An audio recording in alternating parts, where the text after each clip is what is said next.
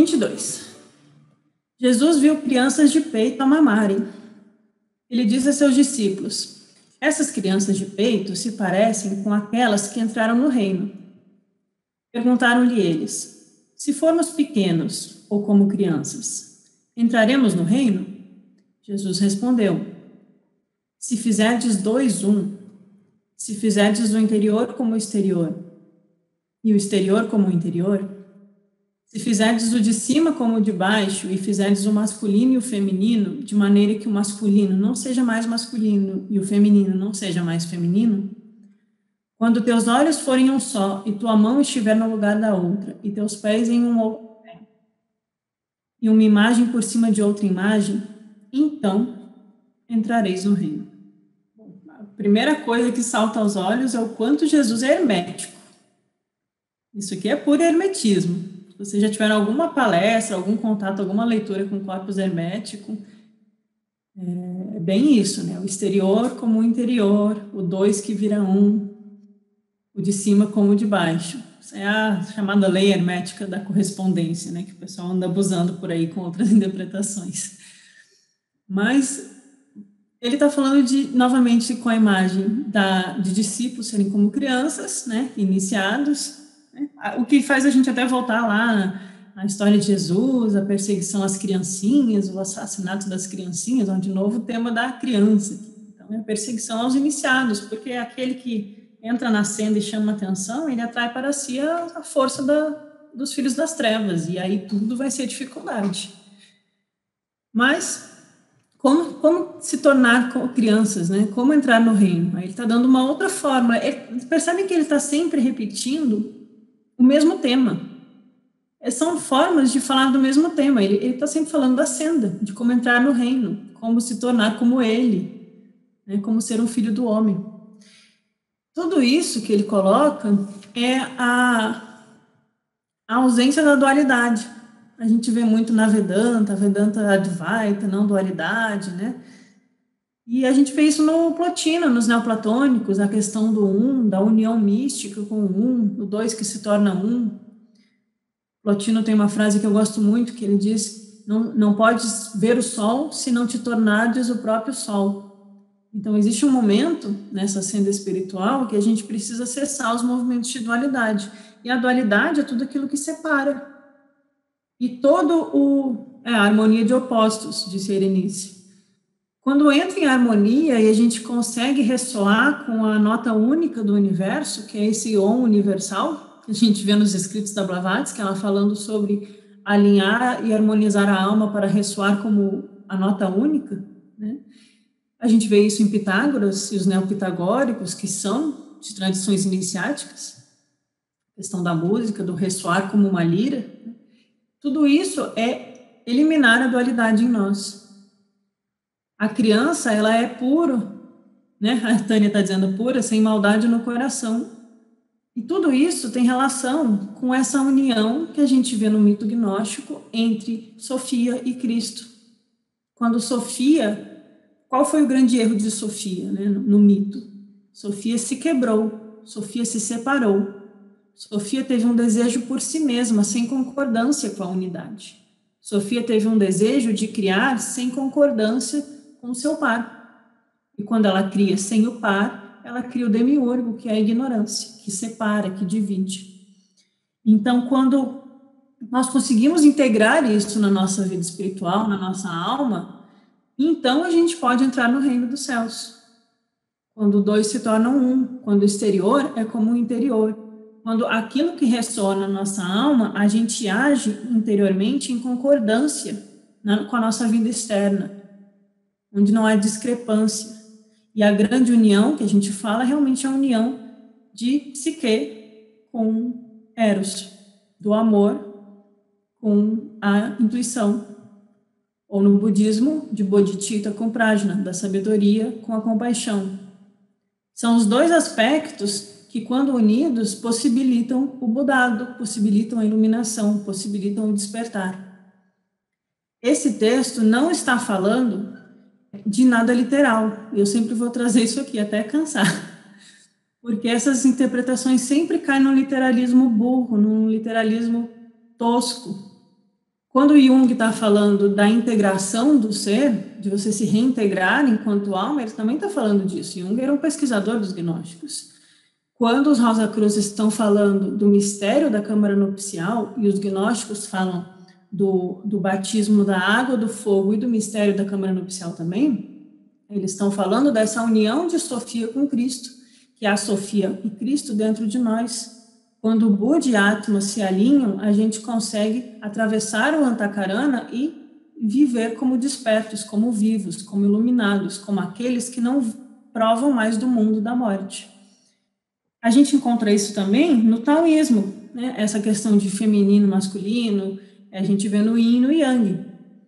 E o yin e o yang, ele causa, é, falando como acupunturista, ele causa doença, ele causa perturbação emocional e psíquica quando ele está desequilibrado. Quando a gente retorna ao equilíbrio, o tal, que é essa unidade universal, o tal, o grande tal, que é o tal que não pode ser dito, é a unidade universal, que contém o dois em um, ele permite com que a gente viva a nossa vida né, de acordo com o caminho do tal. Os taoístas falam muito de seguir o seu wu wei, o seu caminho do tal, é quando você tem uma retação, quando a sua ação está plenamente alinhada, exterior com interior. E aí você age plenamente de acordo com a unidade do universo, com a unidade do Cristo presente em você. Então, né, estou falando demais, é, esse masculino e feminino é a alma que se une ao espírito. Esse mistério da câmara nupcial é uma iniciação espiritual elevadíssima que se dá no mistério da caverna do coração. Porque a gente cingiu a nossa cintura o Bud mora no coração, diz Blavatsky, e o Atma mora na região da cabeça. Igual Platão, que fala da alma cardíaca e da alma racional, né, nesse sentido mais espiritual. Então, quando a alma racional conduz a carruagem e se alinha com o Bud no coração, aí a vida é plena, aí a alma é desperta. É essa união espiritual que precisa ser feita dentro do nosso interior espiritual. Esse assunto ele dá muito, muito pano para manga. Ele dá muita confusão. E a gente encontra pessoas absolutamente perturbadas, sem purificação, sem prática de virtude, sem prática de meditação, sem estudo e com desenvolvimento intelectual atrofiado, achando que via espiritual é unir literalmente masculino com feminino. Como se os corpos físicos fossem capazes de transmitir a potência espiritual do Uno em nós, enquanto Cristo, enquanto pronoia da luz, enquanto Eva espiritual. Então a gente precisa ser um pouco mais inteligente e entender que todo esse ensinamento é esotérico e é um mistério, porque ele é simbólico. Os mestres sempre falam através de símbolos. E esse símbolo interpretado de maneira errada e literal leva à ruína espiritual leva a problemas psíquicos, leva a problemas físicos, como a gente vê em muitos gurus por aí. Então, a gente precisa ter claro que essa união é a cessação da dualidade em nós, é quando a nossa mente cessa de buscar no mundo da multiplicidade as respostas, é quando a nossa mente consegue, enquanto humana superior, se voltar para dentro e se unir à luz de Budi. A Budi desperta vai conseguir é, receber o raio de Atma, o raio do Logos, Cristo é a luz que vem ao mundo. Então, quando essa luz encontra uma mente desperta, com gnoses pura, verdadeira, limpa, que passou pelo processo e lavou os pés nas águas do coração, né, Irenice, que ela gosta dessa frase, aí sim nós teremos um receptáculo limpo capaz de receber a luz do Cristo. Isso não é algo que se faz com o corpo. 23. Disse Jesus: Eu vos escolherei, um entre mil e dois entre dez mil, e eles aparecerão como um só. Aqui a única coisa que me vem é a dificuldade que é termos verdadeiros discípulos. Sermos, né? Porque nós não, não temos, mas no caso o Mestre Jesus. É a dificuldade que é encontrar servidores sinceros para uma causa desesperada, como diria Blavatsky. Então, Jesus sempre fala: largo é o caminho, estreita é a porta. Muitos serão, serão chamados, poucos serão os escolhidos. Na época da Blavatsky, a gente sabe que muitos chelas foram postos em provação e todos, com exceção de um ou dois, falharam. Diz o mestre nas cartas que alguns viraram completos materialistas, que alguns ficaram loucos. E por isso a gente tem que estar com armas a postos e atentos para o ataque dos ladrões dos arcontes porque senão a gente vai falhar no primeiro escorregão. Então Jesus vai chamar muitos, mas vai escolher um entre mil e dois entre dez mil. E quando estes forem escolhidos, eles aparecerão como um só, porque no trabalho espiritual a personalidade não importa. Todos os trabalhadores são é, servidores de uma única fraternidade, é um só. Nós somos só porta-vozes. Não importa a fama ou o que a, a personalidade de alguém ou outro alguém pensa ou gosta ou desgosta, o que importa é o serviço. Então, eles estão alinhados, eles estão harmonizados num único propósito. E aí, nesse sentido, não há espaço para personalismos, não há espaço para desejos pessoais. E eles são raros, mas eles são unidos. E é muito bonito a possibilidade de encontrarmos essa união. No 24. Seus discípulos pediram: Mostra-nos o lugar onde tu estás, pois precisamos procurá-lo. Respondeu-lhes ele: Quem tem ouvidos para ouvir, que ouça. Há luz dentro de um ser luminoso, e ele ilumina o mundo inteiro. Se a luz não ilumina, ele é escuridão. Eu gosto muito de uma outra passagem que está no Evangelho de João. E João, é, em João, ou para João, é, o tema da luz é muito forte, como é nos essênios, né? A questão da, da luz e dos filhos da luz é uma linguagem bem judaico-essênia, cabalista, assim. Essa questão da luz dentro de nós, de nós podermos ter a potência de ser um ser luminoso. Então, quando somos luz, nós iluminamos o mundo inteiro porque não é, não é para um grupo específico, não é para uma nação, não é para aqueles são, que são crentes ou assignatários dessa ou daquela religião, é para o mundo inteiro. Então há luz dentro de um ser luminoso. E essa luz brilha, faça-se a luz. Mas se a luz não ilumina, então ele é como trevas. Não existe meio termo. Você precisa escolher a qual rei você vai servir.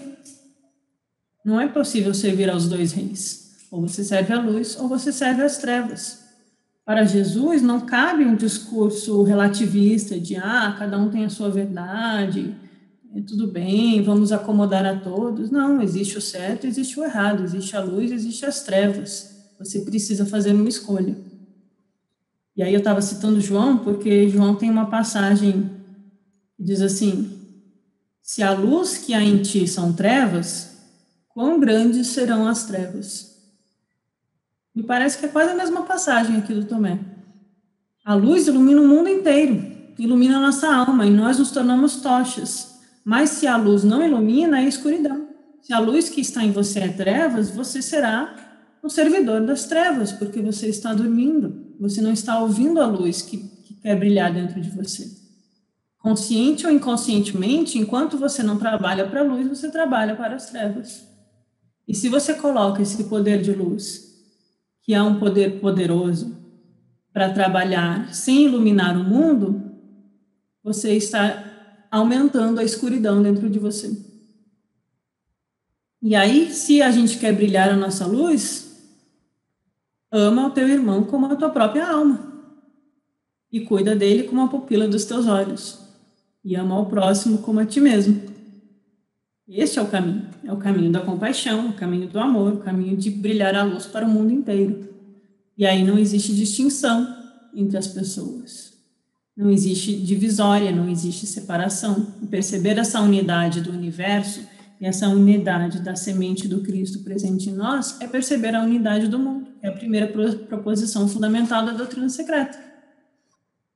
Então, aqui nós podemos ver tanto em termos de prática ocultista, como quando a Blavatsky orienta que os membros do grupo interno deem as mãos e que o que afeta um afete o outro, pois há uma energia de uma egrégora trabalhando e eles devem trabalhar pelo coletivo e nunca pelo individual. Então esse amor ele tem que se estender a todos.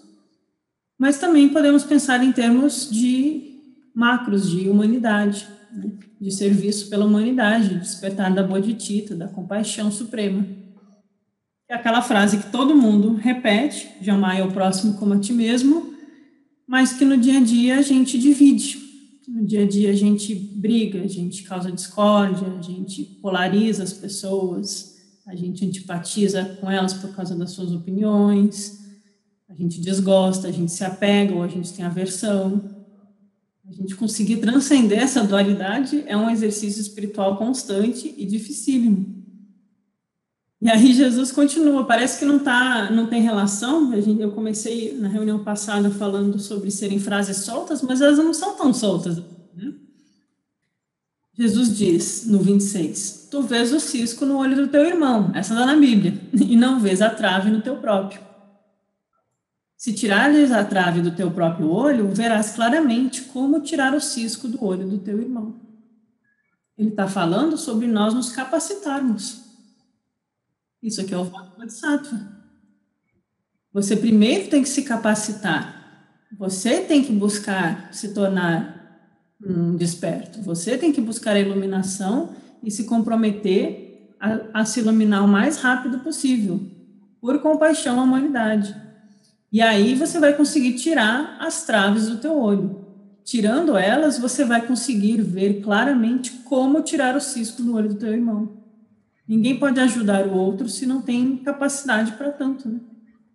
E aí ele também nos chama para aquela autorresponsabilidade básica, da gente não ficar só projetando os nossos problemas nos outros e sem olhar para si mesmo. É a velha hipocrisia humana que todos nós fazemos.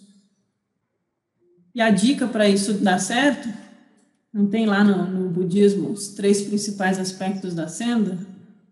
mas que tem os três, né? Tem a sabedoria, tem a compaixão e tem a renúncia. São Kapá fala. Então, Jesus falou de despertar a sabedoria, falou. Ele falou de compaixão, falou. E agora ele vai falar de renúncia.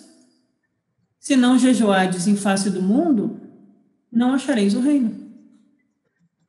Se não guardardes o sábado como sábado, não vereis o Pai. Eu fiquei com uma sensação que isso é um adendo, tipo um acréscimo posterior mas eu acho que dá para a gente interpretar. O que é jejuar em relação ao mundo? Jejuar em face do mundo. Jejuar do mundo é renúncia, é desapego. E aí aquele velho chamado de não acumulei riquezas nesse mundo, buscai aquilo que é eterno, que é o Pai em ti. Então, Precisamos fazer o quê? Jejum do mundo, não é ficar passando fome, não é fazer 21 dias de viver de luz, que é um absurdo. Desculpa trazer isso aqui. É que é cada coisa que aparece. Jejuar do mundo é desapego, é renúncia, é perceber que o mundo não é satisfatório. Que as coisas daqui são é o mundo dos arcontes. É esse Éden ilusório, cheio de coisas prazerosas que só trazem sofrimento, que envenenam nossas mentes e fazem a gente esquecer cada vez mais e ficar cada vez mais longe do reino. Então precisamos fazer jejum do mundo. Claro que não é fácil. Mas à medida que a gente percebe, até assim analiticamente, racionalmente, os problemas desse mundo, e a gente vê os problemas se repetindo e repetindo, isso, Erenice, jejum do consumismo, jejuar do materialismo, da Lembert falou. Esse, o materialismo e o consumismo são faces dos arcontes no mundo. É os arcontes em ação, é a pura ação dos arcontes, é o jardim do Éden. É compre, deseje, consuma, seja assim, coma essa comida e sempre sinta insatisfeito, sempre fique sofrendo, sempre se sinta vazio. Eu não acho uh, que a gente precise se não é Jesus não está falando para a gente se martirizar nem para passar fome nem para se causar sofrimento, né? O mundo ele pode ser belo também. Plotino falava da beleza no mundo, Mas encontrar a beleza no mundo é encontrar a beleza da alma refletida no mundo, é encontrar aquilo que é divino refletido no mundo. Encontrar a beleza na satisfação da, da fome da alma, no convívio com os verdadeiros amigos espirituais, no comer as comidas que são cheias de ti, de prana, de vida. Contemplar as belezas daquilo que é verdadeiramente belo. E não ficar buscando no mundo, né? Porque o mundo dos homens é o mundo dos arcontes, é o mundo das instituições. Lembrando que o, o demiurgo, ele é aquele Deus, a representação né, simbólica de um Deus egóico, ele é o nosso ego, ele fala, eu sou Deus e não há nenhum Deus além de mim. Então, é eu, é para mim.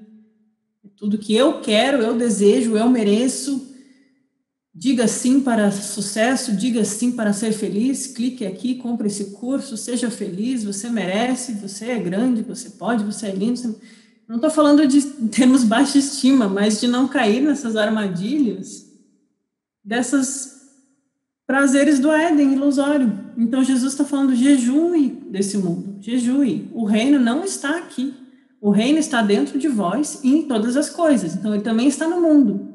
Mas a forma de acessar ele é através de um mergulho interior, um mergulho espiritual no Pai que está no silêncio e está no oculto. Então a gente precisa entender a transitoriedade do mundo. Estou lendo aqui vocês. E usufruir as coisas sem se apegar, permitir que elas passem, não ficar tentando repetir a experiência, porque aí é, é o apego falando, né? Lá no budismo. E a gente encontrar a satisfação e a beleza nas coisas simples um exercício espiritual. Então, no 28, Jesus, Jesus disse: Eu estava no meio do mundo e me revelei a ele corporalmente. Encontrei todos embriagados e não encontrei nenhum deles sedento. E minha alma sofria dores pelos filhos dos homens, porque eles são cegos no seu coração e nada enxergam Assim como entraram no mundo vazios, querem sair do mundo vazios. Agora estão bêbados e só se converterão se abandonarem o seu vinho. É preciso que mudem os seus caminhos. Ele fala como um verdadeiro mestre de sabedoria. É, o que a gente estava falando agora. A forma de jejuar nesse mundo, né? Ele estava em meio ao mundo e ele se revelou, ele encarnou. Ele encarnou, ele, ele se tornou um, mestre desperto, ele é a luz do Logos no mundo, de certa forma, mas ele encontrou todo mundo embriagado e ninguém com sede, sede de sabedoria, sede de despertar. E aí o que, que o mestre sente? Dor, sofrimento. Minha alma sofria pelas dores dos filhos dos homens. Eis um Bodhisattva falando um mestre de compaixão. É por compaixão, é, por, é, é aqui a voz do silêncio, né? Que cada dente lágrima goteje e fique no teu coração até tu ter secado a causa daquela dor.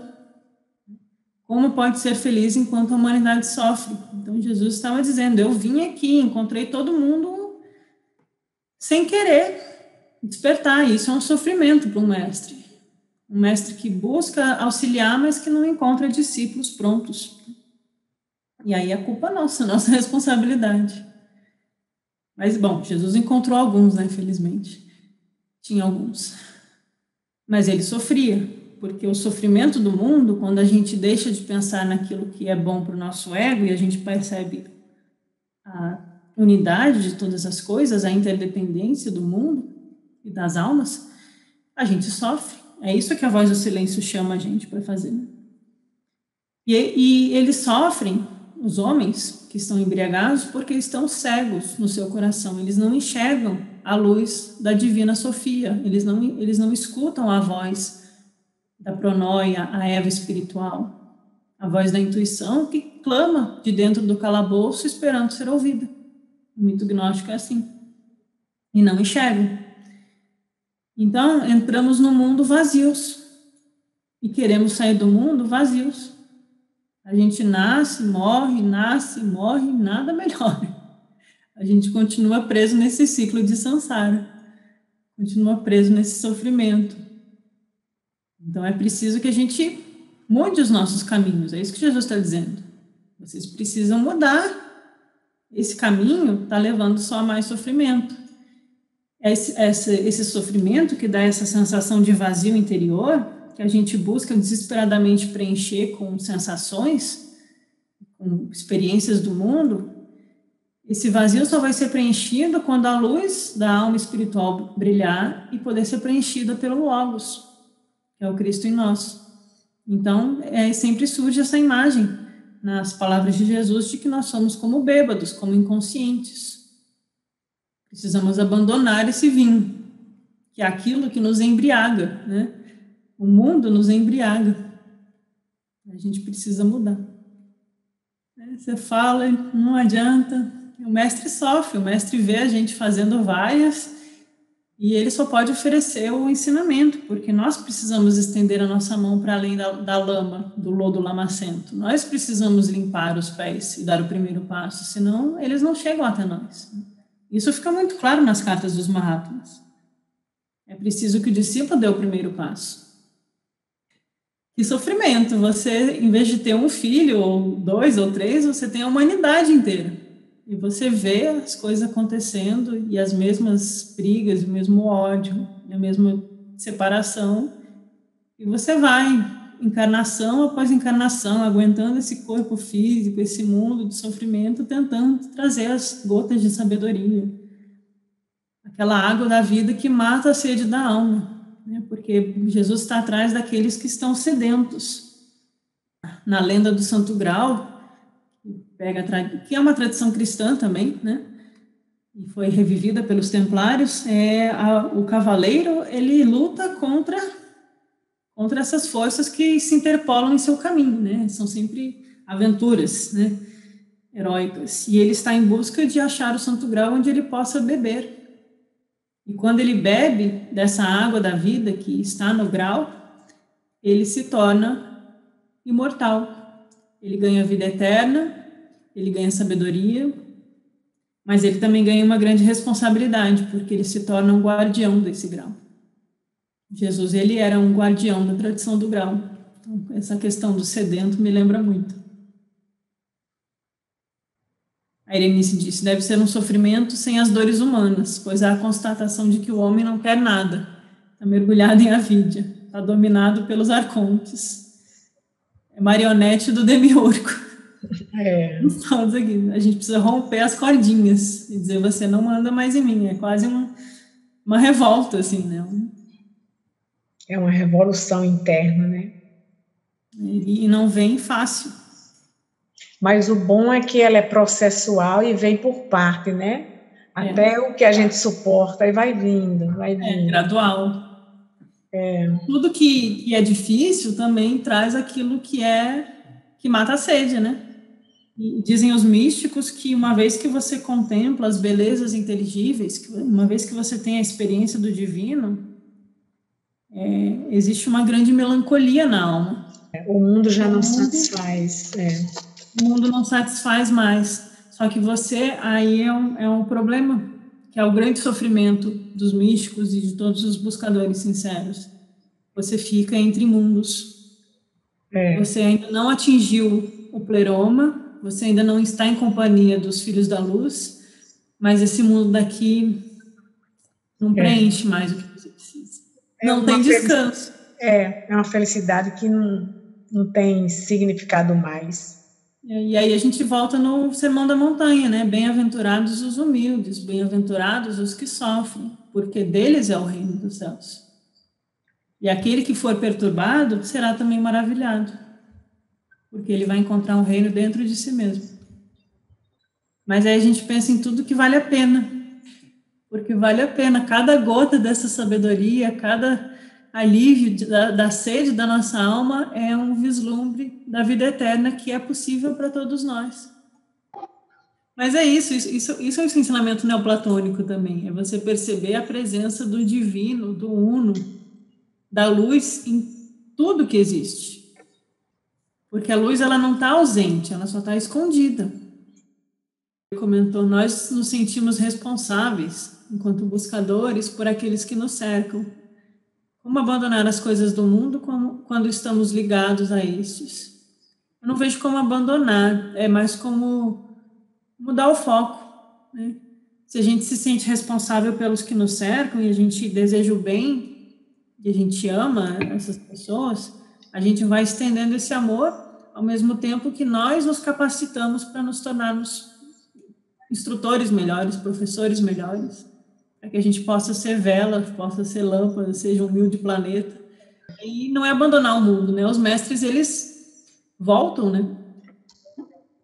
Eles estão é. sempre voltando ao mundo por compaixão. Quando, quando ao tumulto do mundo a tua alma que desabrocha dá ouvidos, quando a voz clamorosa da grande ilusão a tua alma responde, quando se assusta ao ver as lágrimas quentes da dor, quando ensurdecem os gemidos da angústia, quando a alma se retira como tímida tartaruga para dentro da concha do egocentrismo, sabe, ó discípulo, que do seu Deus silencioso a tua alma é um sacrário indigno.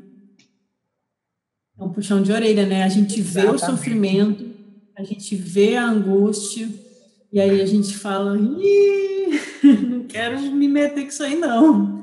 Mas uma vez que a gente sabe que é possível trilhar um caminho em que nós podemos realmente ajudar a humanidade, aí a gente precisa ser digno, né?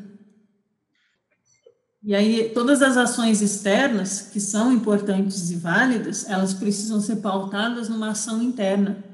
Não existe maior caridade do que a doação de si mesmo em direção a um, a um objetivo que vislumbra toda a humanidade. Né? Então, que tudo que a gente faça pelo mundo seja também buscando essa cena interior, cada um no seu ritmo, sem pressão. Uhum. Mas se a nossa motivação é compassiva, nós podemos realmente ajudar. E tentar cultivar essa chama no nosso coração, porque ela não só mata a sede, como ela aquece e ilumina. Nem tudo é. são trevas.